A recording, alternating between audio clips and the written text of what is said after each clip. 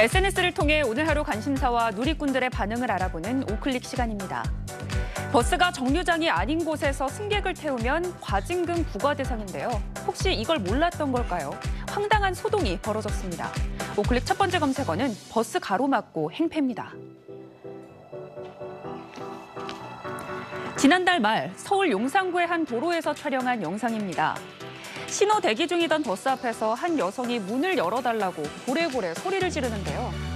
버스 기사는 정류장이 아니라서 안 된다고 손짓하면서 문을 열어주지 않았습니다.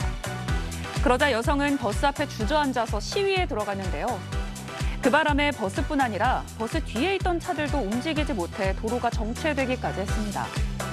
심지어 여성은 신고를 받고 출동한 경찰의 멱살을 잡고 횡포까지 부렸는데요.